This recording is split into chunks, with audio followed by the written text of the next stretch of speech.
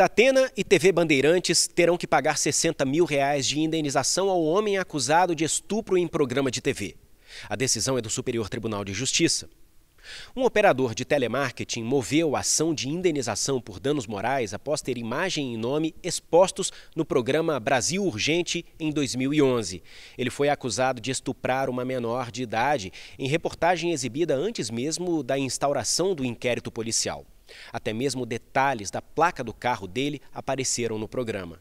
O operador de telemarketing foi absolvido na ação penal.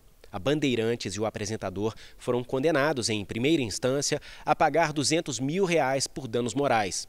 O Tribunal de Justiça de São Paulo reduziu o valor para 60 mil, mantendo no mérito a condenação por abuso no exercício da liberdade de imprensa. No recurso dirigido ao STJ, Datena e a emissora de TV alegavam que o valor da indenização era exagerado e alegaram ausência de nexo de causalidade, uma vez que a fonte das informações narradas na reportagem seria a polícia e não teria sido emitido juízo de valor acerca da conduta do acusado. O ministro Luiz Felipe Salomão, em decisão monocrática, concluiu que o material jornalístico expôs o acusado de forma desnecessária e que não há nenhuma excepcionalidade que justifique a redução do valor definido para a indenização.